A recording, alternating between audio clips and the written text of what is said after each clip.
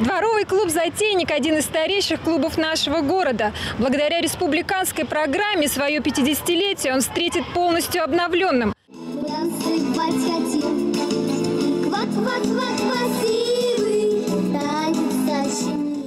Пока лягушата сочиняли красивый танец, на открытие «Затейника» приехало много почетных гостей, в том числе бывшие педагоги и их воспитанники. Затейник, который для меня лично, как и для многих моих сверстников, действительно был и есть таким домом. Домом, в который мы приходили после школы, после того, как сделали уроки. Иногда и не успевали делать, но всегда тянуло в затейник, всегда тянуло к нашим наставникам, Я только тренировал. Разговаривать я много не мог. Я бегал с ребятами вместе. Теперь вот мы, я как первый тренер, приехал на открытие клуба, в котором мы провели много-много лет.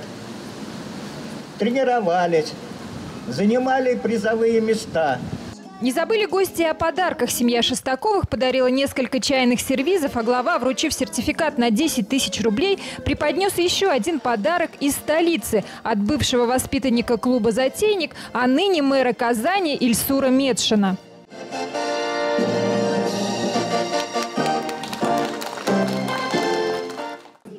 Экскурсия по клубу больше напоминала встречу выпускников. Пока гости вспоминали прошлое, рассматривая альбом со старыми фотографиями, нынешние обитатели клуба осваивались в обновленной игровой комнате, творческой мастерской и современном зале для занятий пилатесом. Затем делились впечатлениями.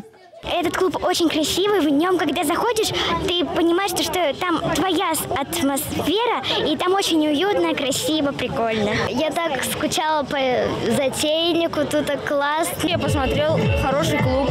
Думаю, тоже буду ходить. Мне даже очень понравилось то, что он изменился, стал новым.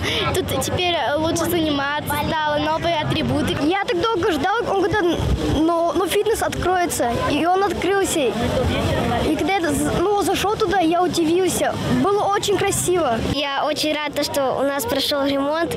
Я чувствую себя как дома.